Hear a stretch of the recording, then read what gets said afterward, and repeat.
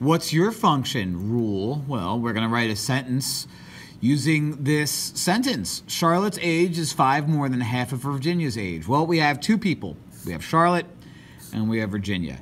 Charlotte's age is, so I'm going to put C for Charlotte, is is going to be an equal sign. Five is five. More than means add. Half is half of Virginia, which means half of Virginia.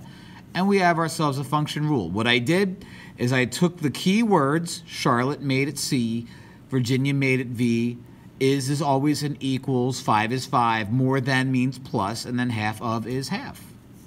Simple.